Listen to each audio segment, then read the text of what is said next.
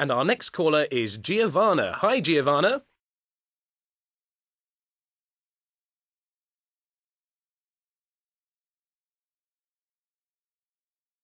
Hi. My tip is don't spend a lot of time reading the papers or watching the news on TV.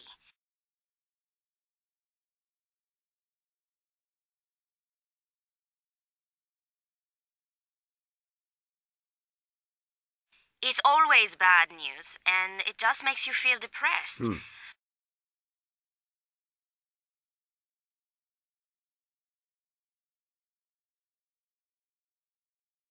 Read a book or listen to your favorite music instead.